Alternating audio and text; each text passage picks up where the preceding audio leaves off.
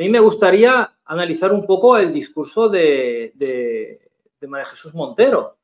Es un discurso en el que estamos notando últimamente una deriva en la que se ha normalizado la mentira en política. O sea, lo más normal del mundo es mentir a los votantes, es mentir a los votantes, evidentemente, durante la campaña electoral, porque al fin y al cabo a quien te diriges es a tus votantes, pero cuando eres gobierno, cuando gobiernas, cuando, cuando eres quien tiene que gestionar el dinero público y tiene, quien tiene que defender los intereses de todos los españoles, te estás dirigiendo a todos los españoles, te hayan votado o no, te guste o no.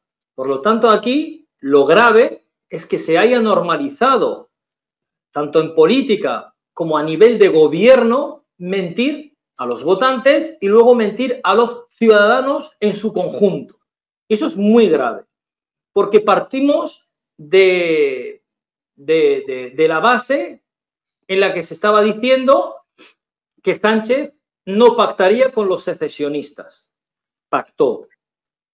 Partimos de la base en la que el señor Sánchez y su gobierno decían, María Jesús Montero incluida, que no habrá indultos.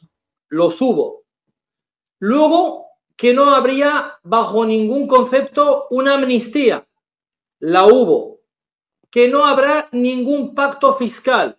Lo va a haber, se ha negociado y Sergio Fidalgo pues, ha desvelado incluso los nombres de los negociadores y quiénes son y lo que han comido, si quieres, hasta el día de ayer, brillantemente.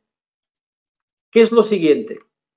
¿Qué es lo siguiente que habían negado y que presuntamente o seguramente terminarán haciendo?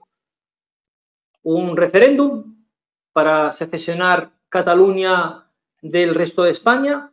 Entonces, ¿qué es lo que tenemos actualmente? Tenemos un gobierno, tenemos unos gobernantes que lamentablemente y de manera total y absolutamente inédita en toda Europa y también inédita en la historia de España, están mintiendo sistemáticamente. No es una mentira aislada, una mentira eh, para tapar una vergüenza del gobierno como las que también hace el señor Puente, que por cierto, ahora en la, en la nueva cuenta mía de Twitter, que acabo de abrir después de que me tumbaran la anterior, eh, no me tiene bloqueado todavía, por lo tanto sí que puedo acceder a sus, a sus tweets.